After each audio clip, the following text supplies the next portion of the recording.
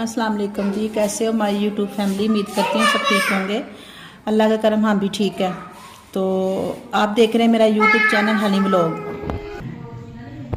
तो आप मेरे साथ रहेंगे मैं आप लोगों को आज एक ना रेमेडी दिखाने लगी हूँ हाथों के लिए। ये बहुत अच्छी है मौसम, सर्दी स्टार्ट होने वाली है। इसके लिए आपको किन किन चीज़ों की ज़रूरत है, एक हीरा ले लें। ये देखें, मैंने एक खीरा ले, छिलके समेत लेना है, और इसके लिए मैंने साबुन ले लिया घर में कोई भी साबुन हो आपको, घर में जो भी आपके पास हो, ये मैंने बेकिंग सोडा ले, बेकिंग सोडा या मीठा सोडा एक ही चीज़ है, ये ले लें थोड़ा सा तो खीरे को क्या करना है कि आप लोगों ने ना एक कद्दूकश ये वाला लेना है, आपने जिसके साथ हम मूलियाँ वगैरह कश करते हैं इसको छिलके समेत ऐसे कद्दूकश करना है, ऐसे ना, ब्रीक साइड पे। इसको सारा को करके ना मैं आप लोगों को दिखाती हूँ ये ये हाथों के लिए बहुत ही मुफीद चीज़ है। ये आगे सर्दियाँ हैं तो ये हाथों पर जिस मैल जमी हो मतलब कि ये ब्लैक ये इस तरह के ब्लैक वगैरह हो जाएँ, ये चीज़ें, ये साफ़ हो जाती हैं, हाथ नरम मुलायम हो जाते हैं। ये हफ़्ते में तकरीबन दो तीन दफ़ा कर लें या डेली कर लें तो अच्छी बात है। डेली कर लेंगे तो अच्छी बात है, नहीं तो हफ़्ते में दो तीन तीन चार दफ़ा कर लें, ये बहुत अच्छी चीज़ है। खीरा तो आपको पता है वैसे भी कैल्शियम की कमी के लिए अच्छा होता है, डॉक्टर बताते हैं। मैदे के लिए मुफीद है, हर चीज़ के लिए ठीक है, लेकिन मैं हाथों के लिए अभी इस्तेमाल करने लगी हूँ। मैं आपको सारा, ये देखिए, इसका पानी भी निकल रहा है साथ साथ मैं आपको सारा करके ना आपको दिखाती हूँ। ये ले जी, सारा माशाल्लाह हो गया मेरा खीरा ग्रैंड। ये देखें कितना बरीक हो गया अच्छी तरह से ना।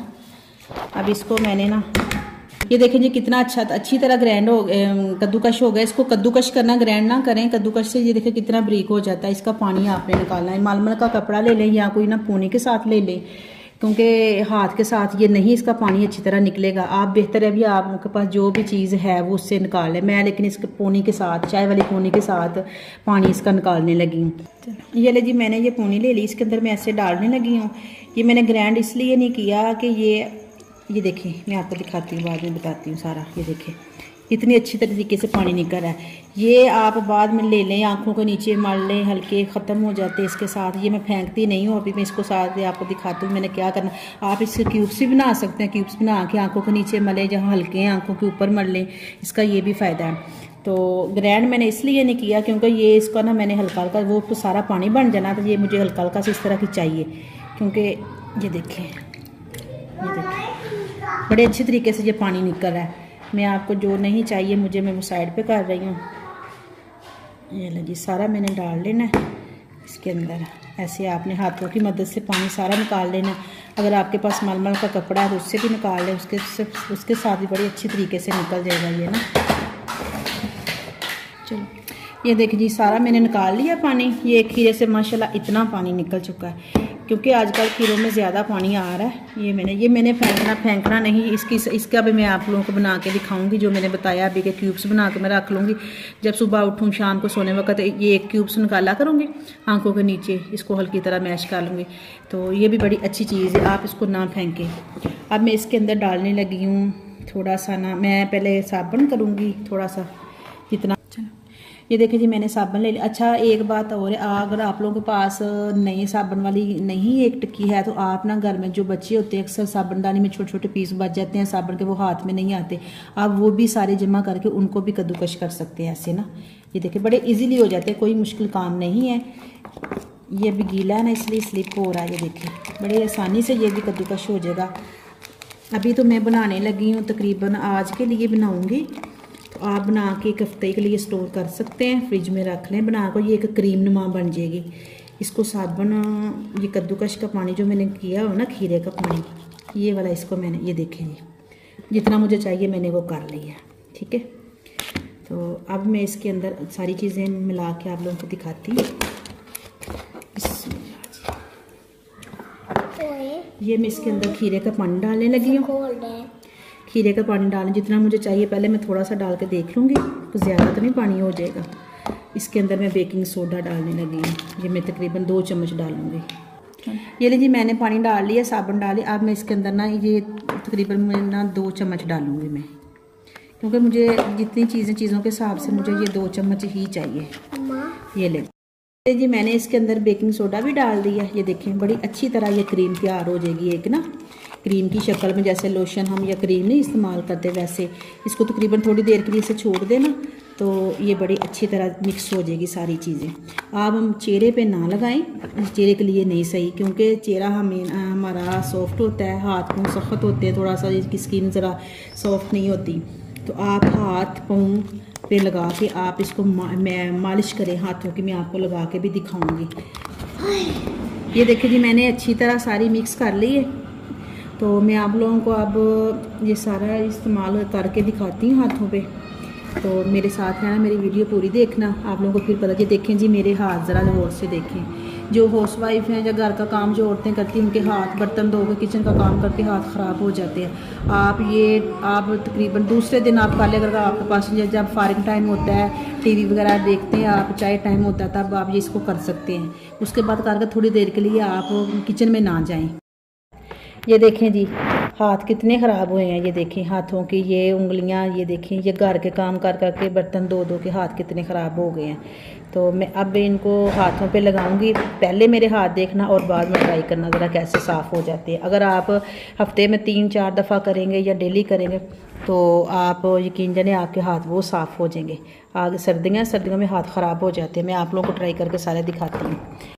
ऐसे हाथों के ऊपर लगाना है, ये क्रीम जैसे मसाज होती है, ऐसे आपने पूरे हाथों पे अप्लाई करना है, करके ये जहाँ जहाँ ये मैल होती है, हाथों पे ये हाथों की जिनको बोलते हैं, ये गंडे हाथों की, पंजाबी में बोलते हैं, हाथों की उंगलियों को, ये ये लाइनें जो होती हैं, इनके अंदर ज़्यादा होती है।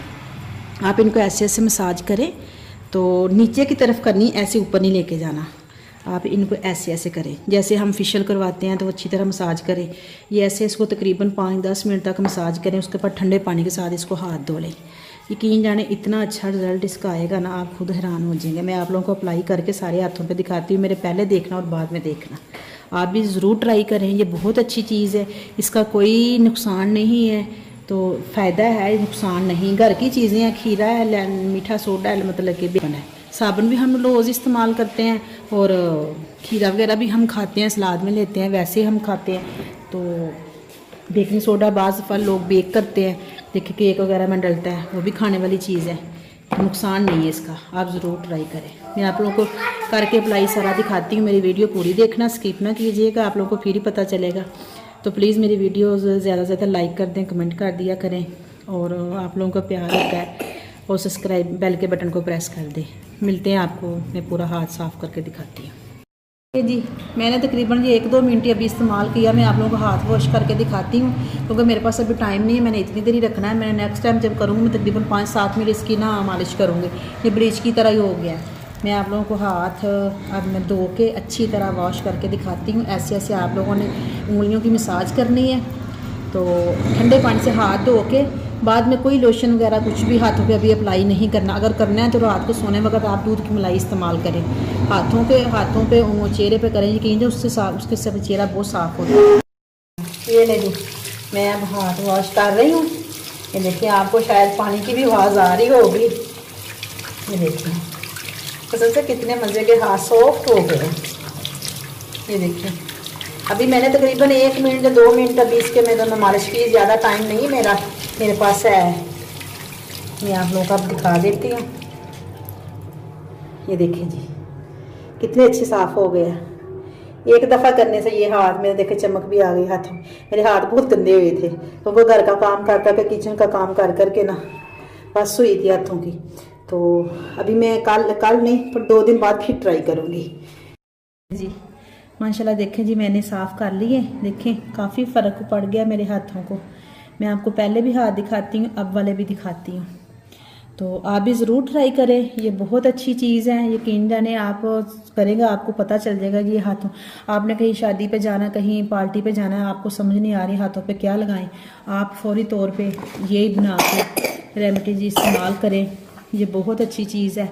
कोई इसका नुकसान नहीं है, कोई स्किन को कुछ भी नहीं इसका होगा। तो ये हाथों के साथ आप, अगर आपके घर शादी है तो आप हफ़्ते, एक हफ़्ते में ट्राई कर लें, आपके शादी तक हाथ साफ़ हो जाएँगे इंशाल्लाह। तो प्लीज़ मेरे साथ रहना। मैं आप लोग आप लोगों को नेक्स्ट वीडियो इससे अच्छी अच्छी दिखाऊँगी। तो मेरी वीडियो को पूरा देखना वॉच करना तो लाइक करना कमेंट कर दिया करें, मुझे आप लोगों की सपोर्ट की ज़रूरत है। तो मुझे दें इजाज़त। इन फिर मिलेंगे। इसी के साथ दें इजाज़त। अल्लाह हाफिज़।